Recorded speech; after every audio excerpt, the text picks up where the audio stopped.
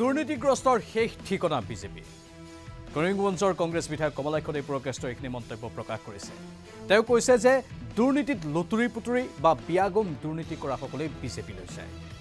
আৰু তেওঁ মাত্ৰ এটা সামান্য ভুল কৰিলে সেই সামান্য ভুলৰ বাবে তেওঁৰ বিৰুদ্ধে মুখ্যমন্ত্ৰীৰ তদাৰকী কোষ জঁপিয়াই পৰিল জি এছ টি পৰিষদ জঁপিয়াই আচৰিত হৈছে তেওঁ।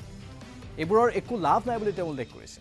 যিহেতু কিছুদিন পূৰ্বে কমলাক্ষদেৱ পুৰকাষ্টৰ বিৰুদ্ধে অভিযান পূৰ্ণগতিত চলিছিল চাহ বাগিচা ভূমি কেলেংকাৰীক লৈ বা আন কেতবোৰ প্ৰসংগক লৈ তেওঁ পৰিয়ালৰ বহুকেইজন সদস্যকো মাতি পঠিওৱা হৈছিল। সেই প্ৰসংগটোতেই কমলাক্ষদেৱ পুৰকাষ্টই এইখিনি বক্তব্য আগবঢ়াইছে যে বিজেপিলৈ ডাঙৰ ডাঙৰ দুৰ্নীতি কৰাসকল যায় আৰু তেওঁৰ মাত্ৰ সামান্য এটা ভুলৰ বাবেই তেওঁৰ বিৰুদ্ধে এনেধৰণে জঁপিয়াই পৰিছে চৰকাৰী বিষয়াসকল।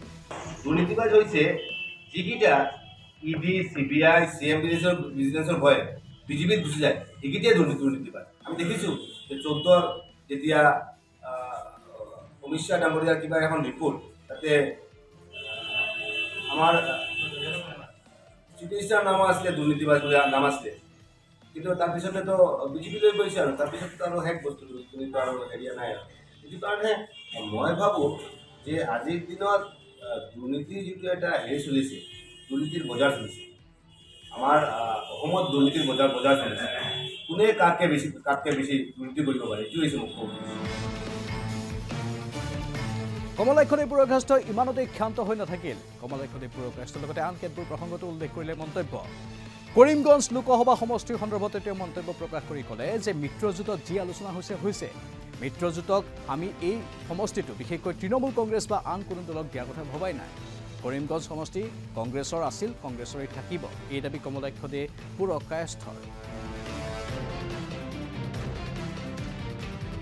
কংগ্ৰেছ যে বিগ বাজাৰ আৰু আমাৰ ইণ্ডিয়া এলায়েন্সৰ আহ, মিলি কেনে আমাৰ সিদ্ধান্ত লোৱা হ'ব কিন্তু কৰিমগঞ্জটো কংগ্ৰেছ খেলি খেলিব কিন্তু আমি বিধায়ক হিচাপে বিধায়ক হিচাপে এজন ৱাৰ্কিং প্ৰেচিডেণ্ট হিচাপে প্ৰদেশ কংগ্ৰেছৰ ৱাৰ্কিং প্ৰেচিডেণ্ট হিচাপে আমি নিশ্চয় হাইকমাণ্ডক জনাম আৰু ইতিমধ্যে আমি জনাই থৈছোঁ যে কৰিমগঞ্জটো কংগ্ৰেছে খেলিব লাগিব যে কংগ্ৰেছৰ ভেটিটো শক্ত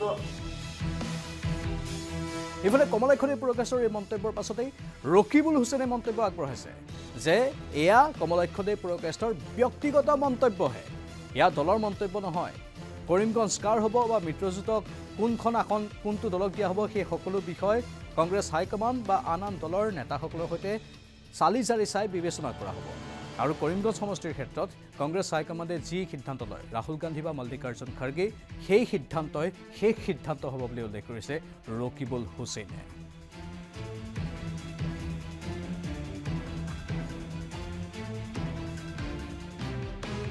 সেই কথাখিনি কংগ্ৰেছ দলৰ কথা নহয় সেই কথাখিনি কমলক্ষদেৱ পুৰকাষ্ঠৰ ব্যক্তিগত কথা আৰু সেই কথাখিনি কংগ্ৰেছৰ বুলি বিৰোধী ঐক্যমঞ্চৰ দলসমূহেও আৰু সৰ্বসাধাৰণ ৰাইজেও সেই কথাখিনি তেওঁৰ ক্ষেত্ৰত ব্যক্তিগত বুলি ধৰিব লাগে।